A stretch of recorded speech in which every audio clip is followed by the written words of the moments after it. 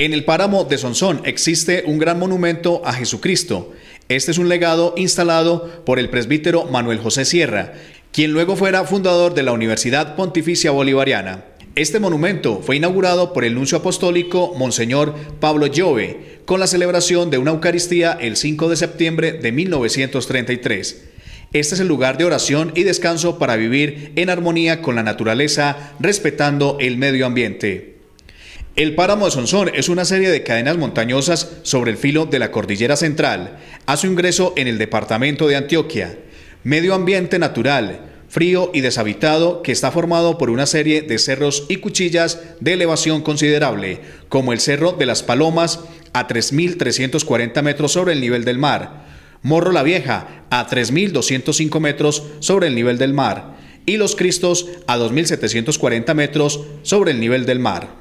El páramo de Sonsón, gran productor de oxígeno para el mundo.